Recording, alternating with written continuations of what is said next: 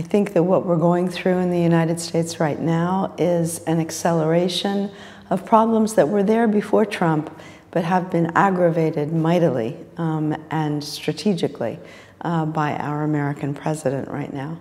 And I think it's important to recognize that this is an issue uh, not just for journalism, it is an issue for democracy.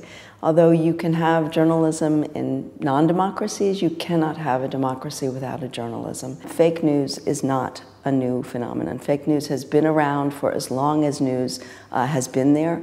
Um, and there have always been different types of, uh, of what we now call fake news.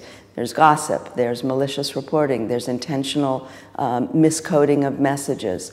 Um, all of that is part of the fake news environment, but all of it is also part of the journalistic environment.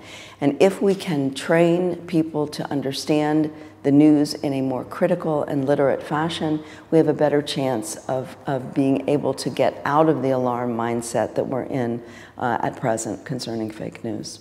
I imagine journalism going back to its best version of itself, where journalism can be independent and critical, uh, and interesting and intellectual and creative.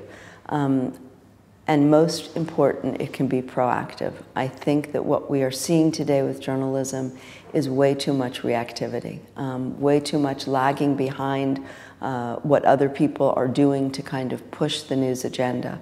Um, so I think that being able to retweak journalism's core by rethinking uh, principles of autonomy and criticality um, are the best way forward. Um, I think it's important for journalists to understand the skills and crafts of journalism, like interviewing, like good writing, like uh, understanding how one approaches a source, um, but without having a context into which one can fit those skills, they don't really matter to very much. So it's important to understand politics. It's important to understand history. I think history is one of those things that journalists are forgetting. The news media are forgetting history, and there's a lot in history today that tells us very important things about what we're going through at this moment. Um, understanding sociology, understanding data, understanding statistics, all of this, all of these outside skills offer journalists a way to kind of magnify their tool set uh, and make their, their, what they have to give a story that much richer.